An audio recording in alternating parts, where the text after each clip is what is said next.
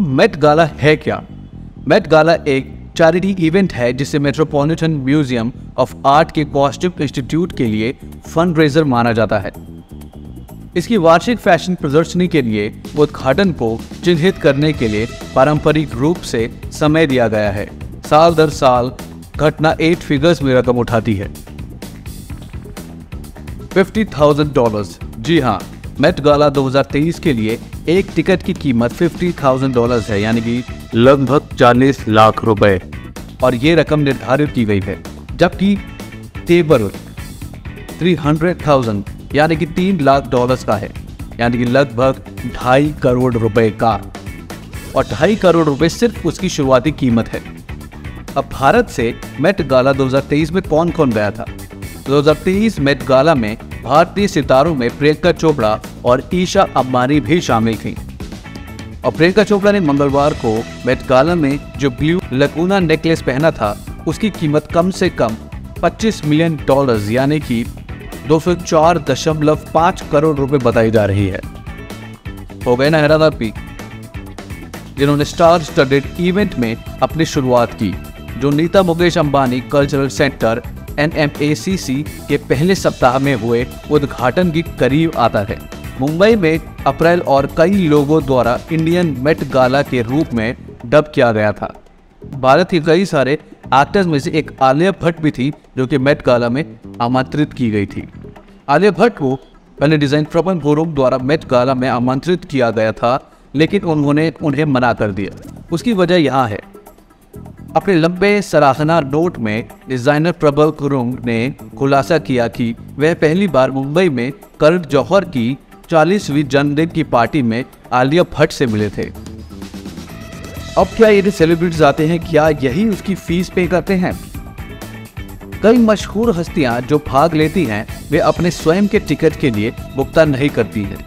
इसके बजाय प्रवेश लागत और वेशभूषा प्रमुख फ़ैशन हाउसों द्वारा नियंत्रित की जाती हैं। बदले में फ़ैशन हाउस को एक्सपोजर मिलता है और धन उगाहने में योगदान देने की सद्भावना मिलती है।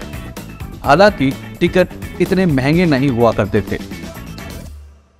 अब कौन तय करता है कि मेट गाला में सेलिब्रिटीज क्या पहने? ये एना विंटोर तय करती है। जी हाँ यह एना विंटोर पर निर्भर है। वो एडिटर न केवल अतिथि सूची में प्रत्येक व्यक्ति को अनुमोदित करता है, बल्कि वह बैठने के चार्ट और हर किसी के संगठन भी चुनता है। अब मेट गाला जो इतना फंड रेज करता है, वो जाता कहाँ है? हॉलीवुड के प्रसिद्ध और फ़ैशन अभिजात वर्ग के आधे लोगों द्वारा पहनी जाने वाली ओवर द ड्रॉप ड्रेसेस की परेड होने से पहले ही मेट गाला न्यूयॉर्क में मेट्रोपॉलिटन म्यूज़ियम ऑफ़ आर्ट के कॉस्ट्यूम इंस्टीट्यूट के लिए एक फंड रेज करता है। अब एक और सवाल उठता है कि मेट गाला सफल क्यों होता है? मेट गाला की सफलता का एक हिस्सा इसकी प्रसिद्ध अतिथि सूची है, यानी कि द फ़ेमस पीपल जिनको इनवाइट किया गया है। पार्टी में आमंत्रित होने के लिए आपको न केवल अमीर और प्रसिद्ध होना चाहिए, सीटों की कीमत लगभग तीस हज़ार डॉलर है। एराविंट और जो व्यक्तिगत रूप से सूची की समीक्षा करते हैं, उनको भी ओके देना होगा। यह अतिथि चयन को वास्तविक प्रतियोगिता में बदल देता है। मेट गाला पैसे कैसे जुटाता है? खगोलीय रूप से महँगे टिकट और टेबल बेचकर पैसा जुटाया जाता है। रिपोर्टर के मुताबिक, इस साल एक टिकट की कीमत पचास हज़ार डॉलर है। इसमें टेबल तीन लाख डॉलर से शुरू हो रहे हैं। टेबल आमतौर पर प्रमुख व्यवसायों और फ़ैशन फर्मों द्वारा खरीदे जाते हैं। अब इतने सेलिब्रिटीज जिनको इनवाइट किया गया है, क्या वो अपना लुक खुद चुनते हैं? जैसे कि प्रत्येक सेलिब्रिटी अपने अंतिम रूप में कितना शामिल है, यह व्यक्तिगत पसंद के लिए नीचे आता है। लेकिन वे अपने स्टाइलिस्ट पर बहुत भरोसा करते हैं। जॉर्डन ने समझाया, एक सेलिब्रिटी अपने मेट गाला लुक को चुनने और डिज़ाइन करने में जितना चाहे, उतना शामिल या असंबद्ध हो सकता है। अब इतना बड़ा जो इवेंट है, इसका मालिक कौन है? एलिनोर लैम्बर्ट जी हाँ दोस्त मेट गाला को लोकप्रिय रूप से दुनिया का सबसे प्रतिष्ठित और ग्लैमरस फ़ैशन इवेंट माना जाता है और इसे फ़ैशन की सबसे बड़ी रात के रूप में जाना जाता है। और इसके निमंत्रण की अत्यधिक मांग की जाती है।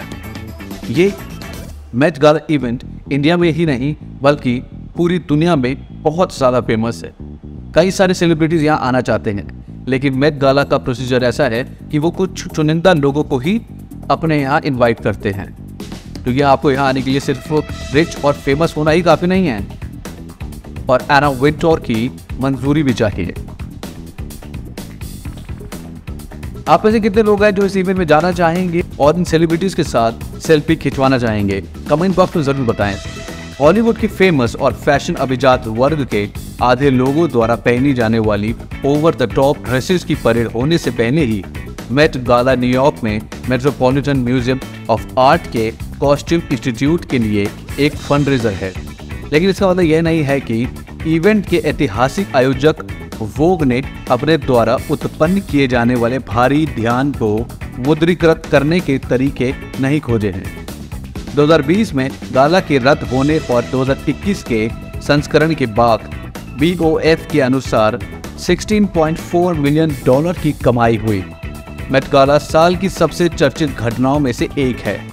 उसी साल जिसमें न केवल प्रिंट माध्यम बल्कि दुनिया में भी जैसे फ़ैशन पत्रिकाओं, मैगजीन्स में विज्ञापनों के क्लासिक तंत्र को डिजिटल मीडिया द्वारा चुनौती दी गई थी। बेशक, शाम का सबसे कमाई करने योग्य क्षण रेड कारपेट है। जिसके लिए वोक ने 2015 में एड बेचना शुरू किया था।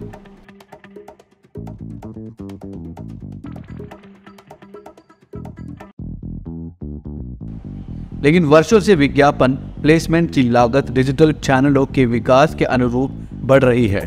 जिसके माध्यम से मेट गाला को बताया जाता है, पिछले साल उदाहरण के लिए वोग ने इवेंट के अपने दो लाइव स्ट्रीम विज्ञापन स्थान एक मिलियन डॉलर प्रत्येक के लिए बेचे यदि आप इन स्थानों पर इंस्टाग्राम पर प्रभावित करने वालों और मशहूर हस्तियों द्वारा सामग्री के विस्तार को जोड़ते हैं तो मूल्य टैग और भी अधिक हो सकता है।